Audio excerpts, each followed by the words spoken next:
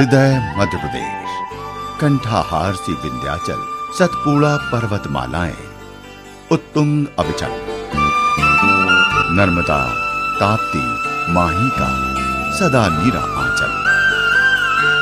आदिम सौंदर्य संपदा को सहेजे विस्तृत वन्य प्रदेश, महमहती मध्य प्रदेश। मानो किरीट मणि सा भोपाल है इसी वैभव का। जीवंत लघु रूप। या कहें सांसे लेता कोई मोहक मिनिएचर चर्चित।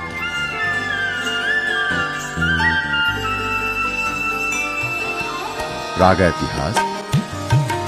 इतिहास। और वर्तमान की अनूठी कथा गाथा। देश की सांस्कृतिक राजधानी भोपाल मध्य प्रदेश का एक जीवंत शहर है जिसकी रगों में बसी है गंगा जमुनी तहजीब और भारतीय संस्कृति का अनूठापन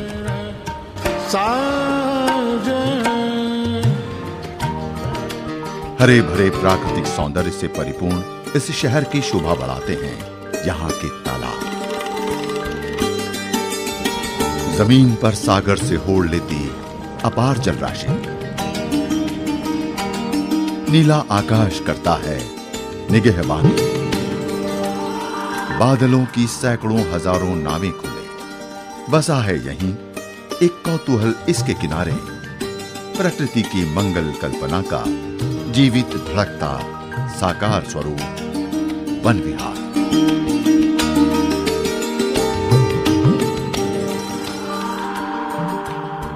ऐतिहासिक धरोहरों को समेटे, इस शहर को संवारने के लिए प्रकृति ने सब कुछ दिया।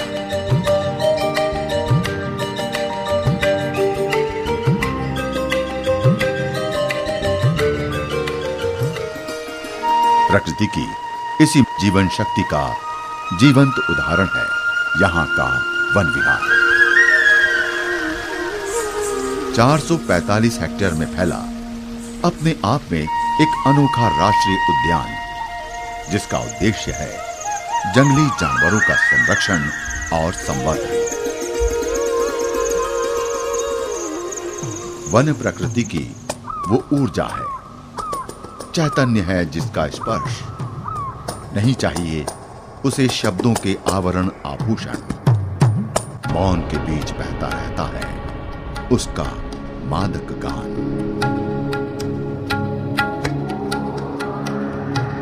प्राकृतिक जंगलों में वन्य प्राणियों को देखने का जो आनंद होता है, ठीक वही अनुभूति होती है वन विहार घूमने पर इस पर्वतीय विस्तार में जन्मी हरितिमा की नूतन गाथा ने पाया राष्ट्रीय उद्यान का गौरव। आज भी इस गौरव गान में जुड़ती रहती है रोज नई पंक्तियाँ। अनेक प्रजाति के कीट पतंगे, पशु पक्षी और प्राणी गाते हैं जब निर्भय होकर। अनगिनत वृक्ष पहुंचाते हैं इस मंगल गान को मेघ दूतों तक सहजीविता, सह अस्तित्व का मोहक राग वन विहार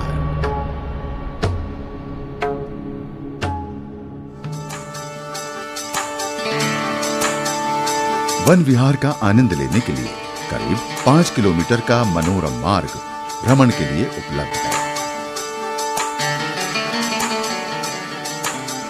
बोट क्लब के पास, रामू द्वार से भदभदा के पास, चीकू द्वार तक, निजी वाहन से या उद्यान की बस से जाया जा सकता है।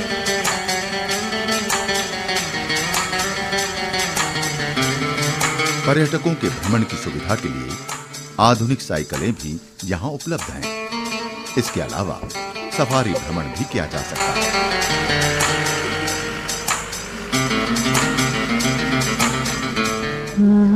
इस अलौकिक विश्व में पैदल भ्रमण करें या फिर निर्धारित वाहनों से दोनों ही उपाय अवसर जुटाते हैं। प्रकृति के उदार सौंदर्य को परखने का, उसे जानने, बूझने समझने का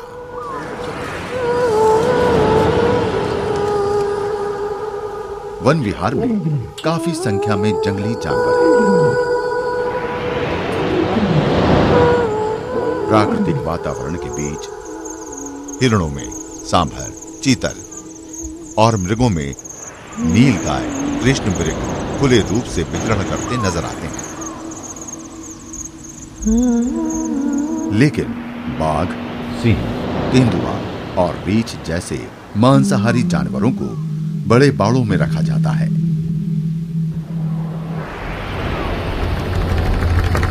वन विहार का सबसे खास आकर्षण है सफ़ेद बाघ। इसके अलावा पार्क में घड़ियाल, मगरमच्छ, कछुए और अनेक जाति के सांप भी मौजूद हैं।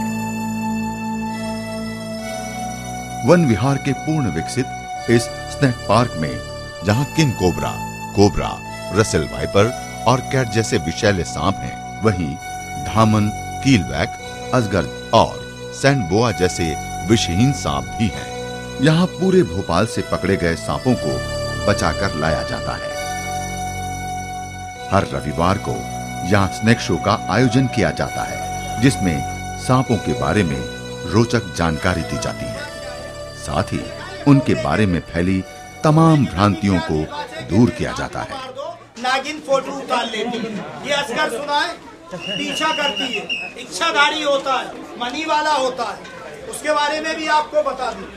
सांप हमारे दोस्त है, दुश्मन नहीं है। जो हमारी खेती किसानी, हमारी फ़सल है, उस फ़सल को जो चूहे नुकसान पहुंचाते हैं तो इन्हीं सांपों को छोड़ा जाता है चूहे खाने के लिए। आप कुछ सोचे, ये दोस्त हुआ कि हमारा दुश्मन? हुआ यहाँ पक्षी भी काफ़ी संख्या में देखे जा सकते हैं।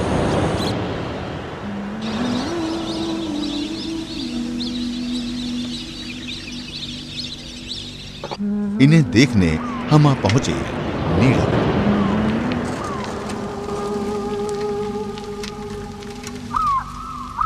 नीलम पक्षियों की आवास स्थली है, जहाँ पक्षियों द्वारा बनाए जाने वाले विभिन्न घोंसलों को प्रदर्शित किया गया है। इन्हीं घोंसलों में पक्षियों ने अपना आशियाना बना लिया है।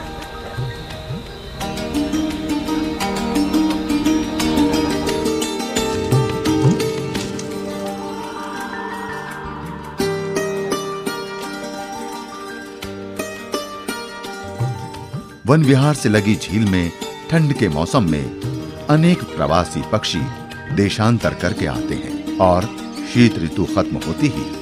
ये अपने मूल स्थानों को लौट जाते हैं।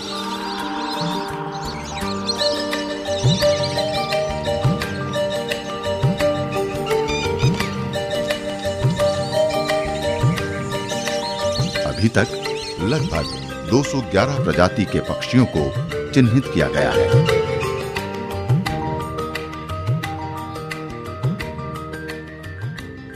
इनमें पेंटेड स्टार्क बुलिनेक स्टार्क और किंगफिशर जैसे पक्षी खास हैं।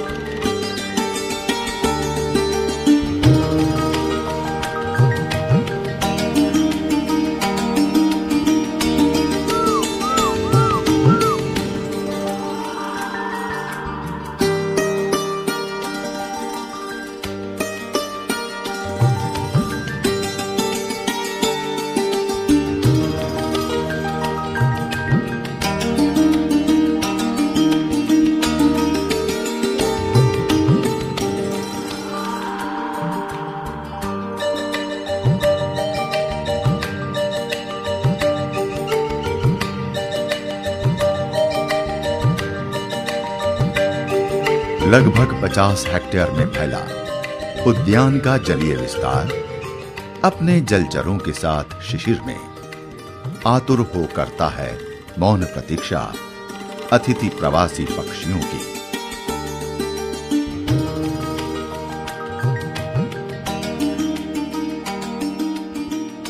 कूकते चहकते, कलरव करते, यहाँ के निवासी परिंदे गाते हैं स्वागत गान। सुनते सुनाते हैं। शेष विश्व की कथा वार्ताएँ और फिर करते हैं विदा। कहने सुनाने। यहाँ की स्मृतियाँ अगले शिशिर तक।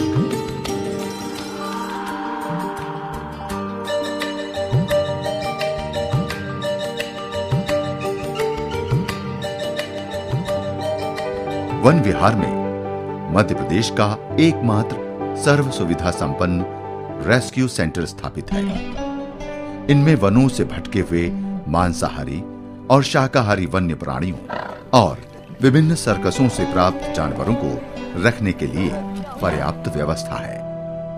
वन्य प्राणियों को चिकित्सकीय सुविधा भी यहाँ उपलब्ध कराई जाती है। यहाँ के वन्य रहवासी, चाहे शाकाहारी हों या मांसाहारी, बंधक बनकर नहीं आए। ये तो बंधन मुक्त हुए थे। क्रूर मनोरंजक तमाशों से। या कुछ भटक गए थे। या कभी हो गए थे घायल, बीमार, असहाय, अनाथ। आज ये आगत अतिथि वनचर करते हैं स्वच्छंद निर्भय विचरण।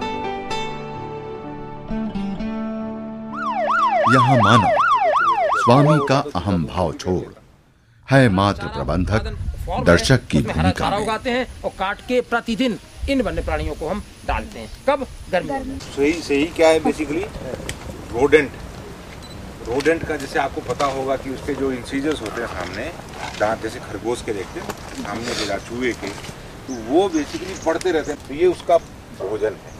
सही मतलब अब इससे ऊपर वो पहुँच नहीं सकती। चढ़ नहीं सकती। चूहा होता, अगर हम ये भी कह सकते थे, चूहे ने क्या चूहा होता तो चूहा तो ऊपर भी चढ़ लेता, उसी ऊपर भी खा लेता हूँ। तो हम ये कंक्लूजन ड्रॉ करते हैं कि ये कोई रोडेंट है, जिसने इसको अपना खाना बनाया है इसको नुकसान किया। ठीक? अब इससे हमको क्या पता चलता है कि इस जंगल में, जो यहाँ पे जंगल है, इसमें एटलीस्ट रोड ये जो रोडेंट में अभी आप सही तो इस एरिए को यूज़ कर रही है। भले ही हमने सही को देखा नहीं। तो हम जब चल फिर रहे होते हैं तो हमको बहुत सारे एविडेंसेज मिल जाते हैं जिससे हमको ये पता चलता है कि इस जानवर इस जंगल में कौन कौन से जानवर हैं। वन विहार के चीकू द्वार पर स्थित इंटरप्रिटेशन सेंटर विहार विधिका को देखना अपने आप में रोमांचक है।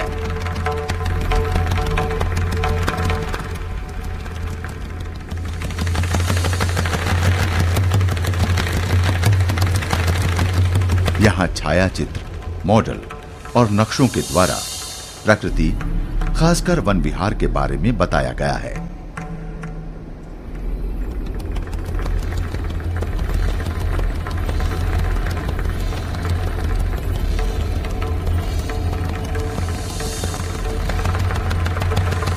यहाँ पर जानवरों की परिस्थिति, आवास क्षेत्र और उनकी आदतों की जानकारी भी मिलती है।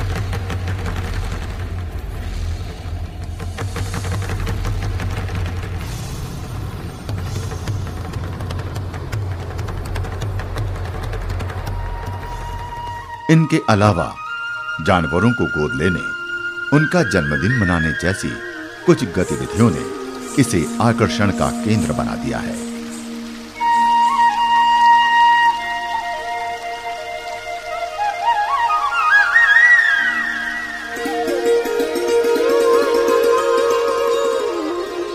इसके अलावा butterfly park, orientation centre nets interpretation area जैसी कुछ गतिविधियाँ प्रस्तावित हैं, जिनके शुरू होते ही पर्यटकों की संख्या में बढ़ोतरी होगी।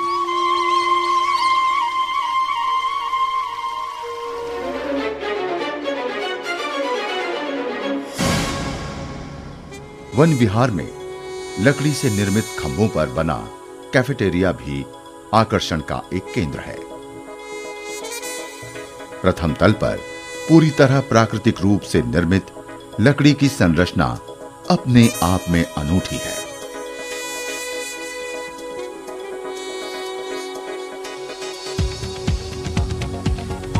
कैफेटेरिया में बैठकर चाय नाश्ते के साथ बड़ी झील का दर्शन अपने आप में रोमांचकारी है। यहाँ खुद को प्रकृति के करीब पाते हैं जीव जंतु। ये एक अनूठी पहल है, कुदरती तौर पर जानवरों को सुरक्षा प्रदान करने की।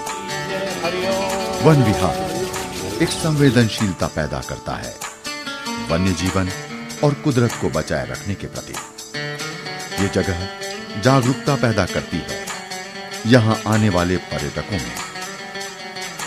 शायद इसलिए इनकी संख्या में लगातार इजाफा हो रहा है। यहाँ के उन्मुक्त आकाश में विचरण करते ये परिंदे। मानो कह रहे हों, कहीं भली है कटुम निबोरी, कनक कटोरी की मैदा से। वन विहार, सह अस्तित्व की अनुभव यात्रा है। शब्दातीत एक मादक सुगंध, जिसकी महक में है शामिल जाने अनजाने अनचिन्हे या पहचाने। दृश्य अदृश्य जीव प्राणों की साँसें।